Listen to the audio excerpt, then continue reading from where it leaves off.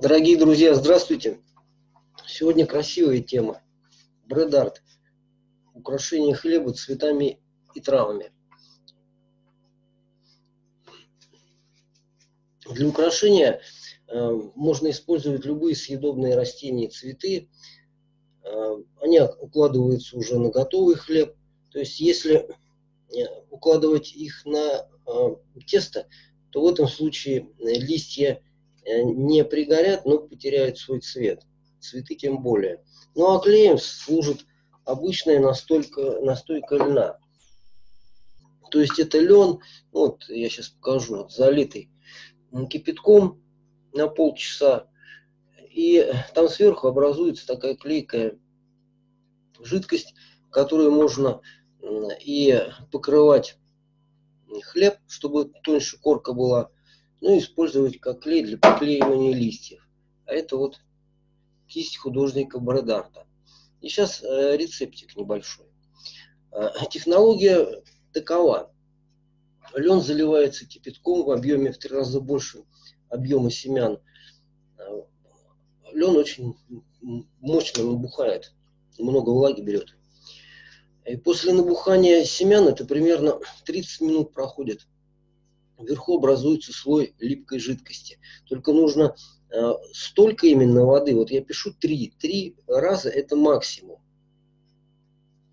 Лучше даже два с половиной для начала. Потому что если будет большой слой воды сверху, то он будет э, обладать слабой такой клеящей, клеящими свойствами. Нужно, чтобы густой был такой, э, густая жидкость. И э, листья моются, и с внутренней стороны прокатываются скалкой для размягчения хорды.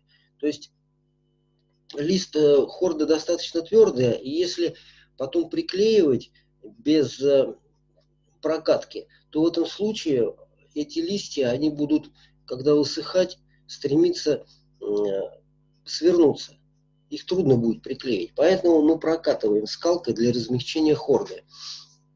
И готовый слегка остывший хлеб Э, кистью э, покрываем вот этой льняной жидкостью полностью, прям мягче корка будет. А потом листья с внутренней стороны также смазываем клеем. И смазываем клеем желательно то место, куда мы будем приклеивать. Это повторно. И уже приклеиваем. Придерживаем, некоторое время подержим, и она нормально приклеится. Естественно, это нужно делать на немного остывший хлеб. Ну, во-первых, будет комфортнее работать, а во-вторых, если э, приклеивать листья, а тем более цветы на хлеб, который вытаскивается ну, только что вытащен из духовки, очень горячий, то они будут терять свой цвет. Ну и здесь вот э,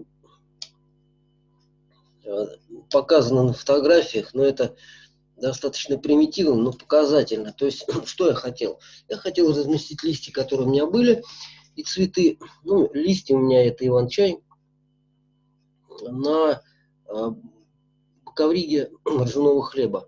Я на расстоянном тесте уже обрисовал эти листья э, и цветы будущие. Ну, сначала у меня был эскиз на бумаге нарисован, такой простенький. А я приложил листья цветы, обрисовал. Вот, и, естественно, у меня это при выпечке с, э, рисунок сохранился. И потом уже а, точно наложил а, цветы и листья. Но это формат достаточно примитивный. Дополнительная информация. Цветы мыть не нужно. И прокатывать тем более. Их просто нужно смазать и приложить к корке хлеба. Если их мочить, они э, сворачиваются, их потом трудно очень развернуть. И цветы нужно на еще более остывший хлеб, то есть после листьев накладывать, так как они потеряют цвет от высокой температуры в большей степени, чем листья.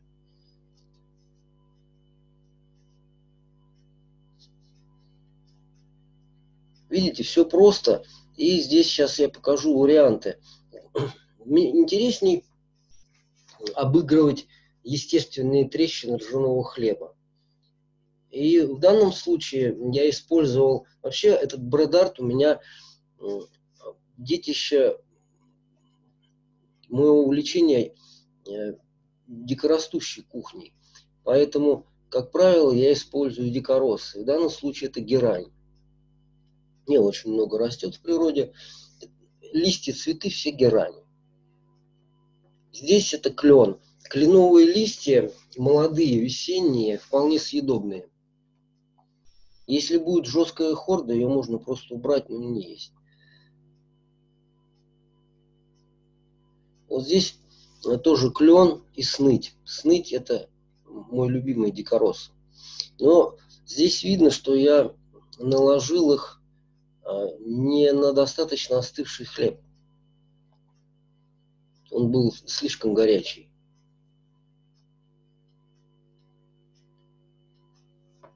Это я делал надрезы специальные для того, чтобы сымитировать такой кустик дерева.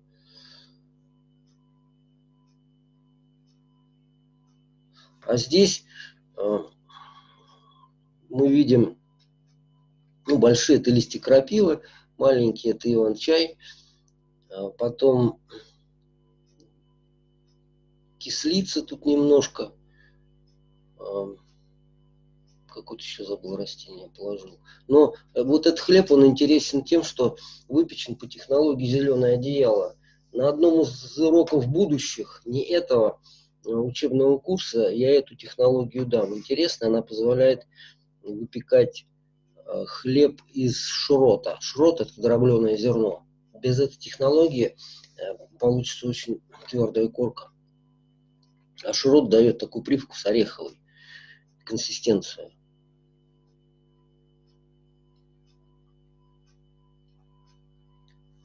Но это свадебный вариант. Это тоже герань, нравится мне герань ну, такая выразительная. Свадебный вариант ржаной ковриги.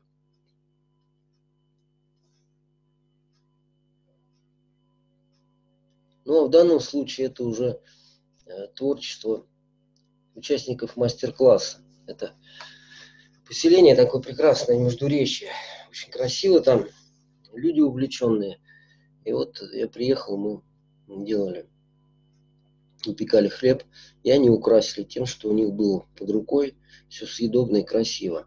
Попробуйте, потому что визуально это радует глаз, ну и немножко, наверное, прибавляет витаминов, а, микроэлементов. Еще я говорю, что это а, для детей как урок ботаники, чтобы они определяли, какие листья наклеены на хлебе. Такой коротенькое сегодня видео. А завтра мы поговорим ну, в следующем видео о нецелевом использовании закваски. Жду вас. До завтра.